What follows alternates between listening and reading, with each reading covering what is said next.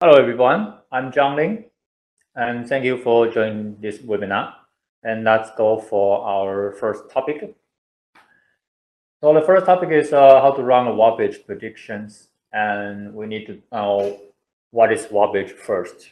Um, the warpage is a differential distortion caused by the uneven shrinkage, and the uneven shrinkage usually caused by the, the fiber orientation uh, differential temperature distribution or uneven package effect. So if we want to have a, a correct warpage result, we must make sure we got right fiber orientation result, right temperature, right packing distribution in our simulation.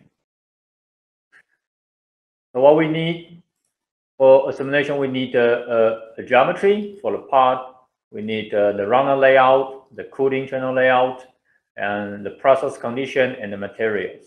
For example, uh, the gate location will affect the flow pattern, and the fiber orientation is determined by the flow pattern. So if we don't get the right mold design or part design, we might get wrong result, flow result or warpage result. And also the, the temperature mold temperature, the material temperature will affect the, the temperature distribution for sure. The packing condition will affect the packing result and at the end affect the warpage result. So what is a, a workflow we recommend for uh, warpage analysis? First, we need to collect the data, make sure we have uh, everything we need and do the pre-processing, include the mesh, process condition setting, computation parameter setting, and run a simulation. And now let's go through them one by one. First, collect the data. And here is the key data we need for a simulation.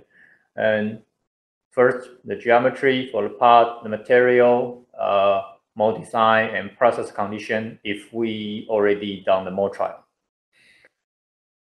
Okay, and for the part geometry, usually there was uh, two different design. One is uh, original design from the part designer, and it, we, we call it the target dimensions.